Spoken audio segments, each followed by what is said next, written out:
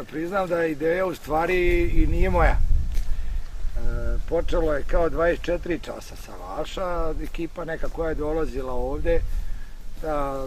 vikendima da se roštilja, da se peca kupa, zimi da se provede vikend i tako dalje.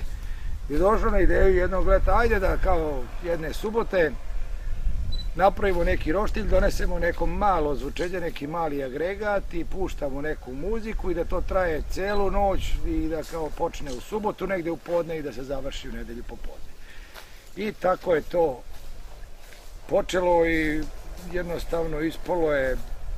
previše dobro nego što smo očekivali. Odmah se rađa ideja kasnije da, da se to produži na ceo vikend, da ima 48 sati, sati. Dolazi do toga da se donosi ozbiljnije odzvučenje kako godine prolaze. Onda smo pre tri godine odlučili da to ne bude više puštanje muzike ono DJ-evi, nego da pokušamo da da vidimo sa uglavnom lokalnim temerijskim bedovima da li može nešto da se uradi. Svi su se odazvali i evo već sada već treću godinu pravimo te neke žive svirke i može se reći da smo prerasli u neki mali festival, ako se to već tako može nazvati. Gosti dolaze, internet i te društvene mreže, one rade svoje, ima ljudi koji se javljaju koje ni ne poznajemo, ali mahom su to neki ljudi koji poznaju nekoga iz ove naše ekipe koja to, koja to sve ovde radi i organizuje, koja nije mala, nas ima ovde ljudi koji malo pomažu, volontiraju tokom cele godine. Kad se ovo priprema, to sigurno nekih dvadesetak ljudi, svako negde nekog zna, svako nekom nešto javi, pošalje, Tako da, eto, konkretno što se tiče, ja mogu da se setim, dolaze ljudi iz Hrvatske, iz Osijeka, iz Zagreba, dolaze i neki naši ljudi iz inostranstva koji dolaze na godišnji odmor s obzirom da je jul, sezona je godišnjih odmora iz Bosne, iz Srbije i tako dalje. Uglavnom tu iz okruženja, ali može se reći da je već poprima karakter međunarodnog festivala. Malog, ali međunarodnog. Pa zamišljeno je tako i namenjeno je ljudima eh, koji su u principu nemaju baš nek puno sredstava da bi sad išli na neke skuplja mesta i to. I to su neki osnovni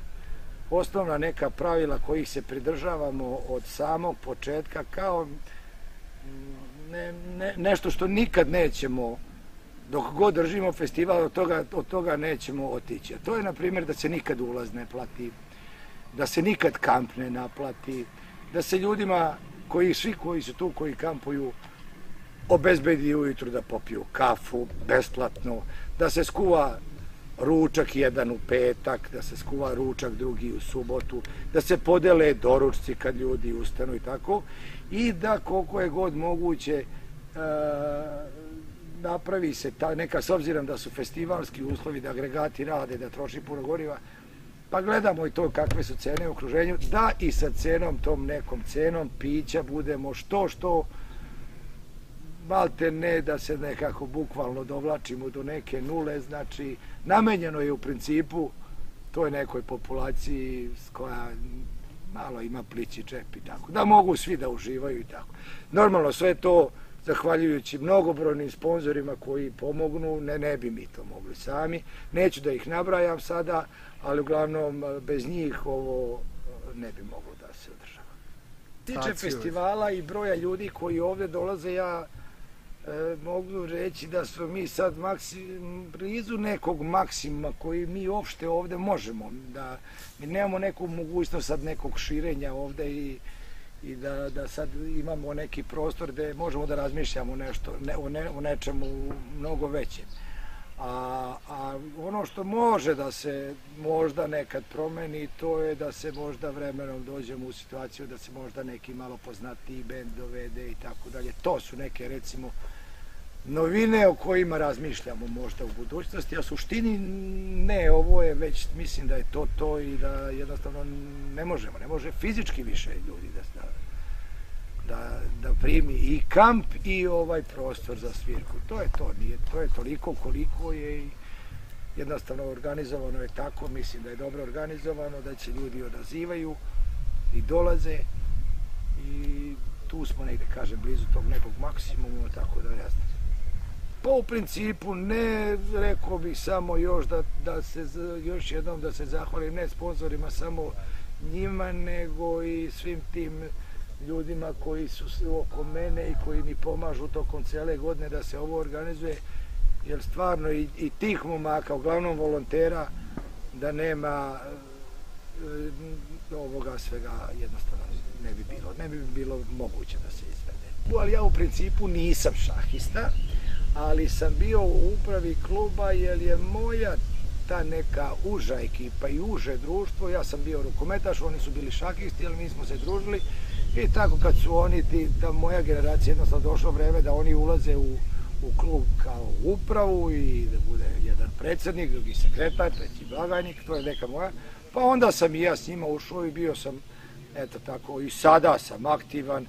ali mislim nisam šakista neki, ali ovaj volim, volim šak, volim tu igru, poznajem te ljude, išli smo na te turnire i jednostavno onako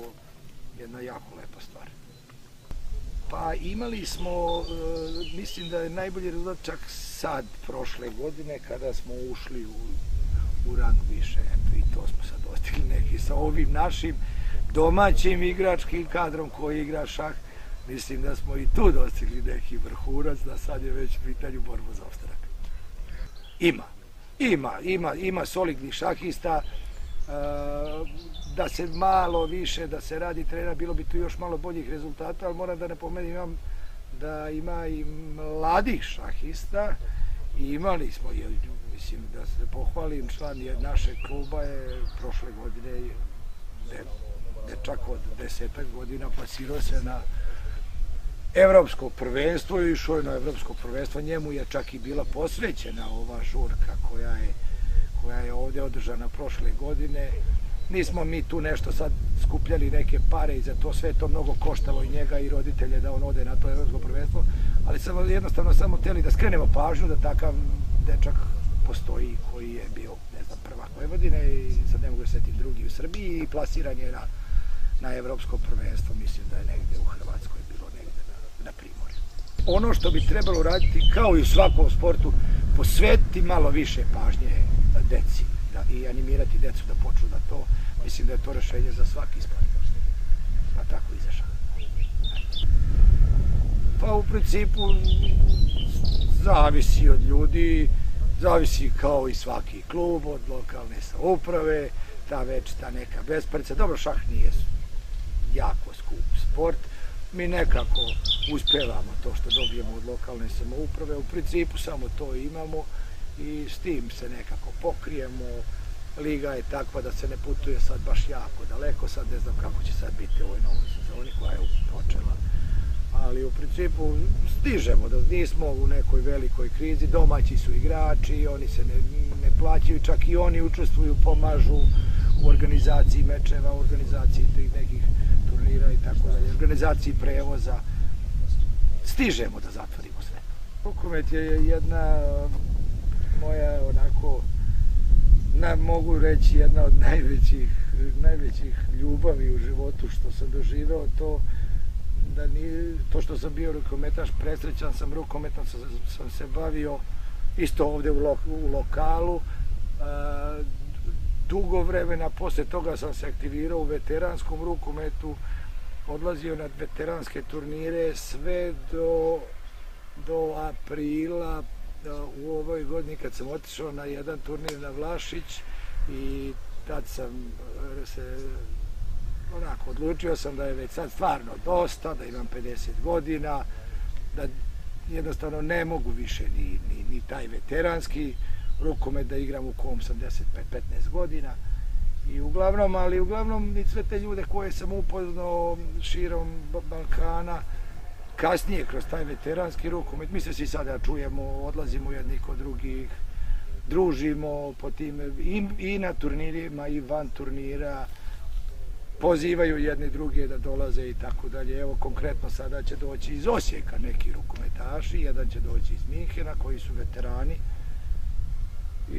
i mislim da je, da je to što se tiče rukometa baš jedan ako jedan predivan period mog života. Bio sam jedno vreme sam uh, se bavio trenerom, ali to ja nisam završio te trenerske, niti sam imao ambiciju neku da, da se bavim time kao trener. Više je to bilo e, kad sam bio u upravi našeg kluba po završetku igračke karijere, više je to bilo neka prelazna rešenja dok ne nađemo trenera. Bavio sam se, kažem, time, ali ne mogu da kažem, niti sam trener, niti sam imao ambiciju, niti sam razmišljao da idem na te neke kurseve i da završavam neke, da polažem za neke licence. Jednostavno ne, ne vidim se u tome kao trener, više sam onako, da kažem, menjao naše trenere koji su trenutno bili odsutni, bilo je tu i ratno vreme, pa jedan je otišao, pa ovamo, pa onako. I onda ovaj, sam eto tako uskako da se bukvalno ne bi desilo da nema trenera, onda je to definitivno raspad u klubu. Borili smo se da sačuvamo klub, sačuvali smo ga kako tako, e, i on još funkcioniše, naša deca igraju i dalje u njemu. U principu to je liga je koja je nije ovaj nije neki visok rang, ali klub postoji, zdravje, igraju isto domaća deca i tako. Ja sam igrao u Temerinu i Jarku, ta je kvalitetna Vojvođanska liga koja je, koju sam ja igrao tih nekih kasnih 80-ih godina. Pa neki kažu da možda se poredi sa sadašnjom našom možda i Superligom, ali sam sad to je nemoguće uporediti, ali je, kažu da je bio jako kvalitetan rukomet. Ja sam to tada nisam shvatao, ali bio je kvalitetan rukomet, bilo je dobrih protivnika, tog što je bila Vojvođanska liga, može se reći da da, je, da se igrao baš, baš kvalitetan rukomet. Uopšte te verim. Pričam za moje vreme. Kasnije je došlo ono kada je kada smo mi imali um, ja mislim da smo imali tri kluba tako jedna mala opština mislim da smo imali tri kluba u, u, u prvim ligama dva u Superligi jedan u prvoj tada toj prvoj B momci iz Bačkog Jarka su igrali Superligu, devojke su igrale Superligu i te momci iz Teverina su igrali prvi B ligu. To je, mislim da je to bilo naj, naj ovako, najbolje vreme za srpski rukomet. Da smo tada imali jednostavno najviše uspeha. Da mislim da je u, normalno sve se to vrti oko, oko novca, ali generalno gledano da je još od mojih dečačkih dana taj neki rad sa decom u školi, počevši od mojih pokojnih nastavnika fizičkog, pa dalje, pa tako i danas, e, taj, taj rad, ta rukometna škola, to što se radi sa puno dece i to, mislim da je to jednostavno rešenje kao u svakom.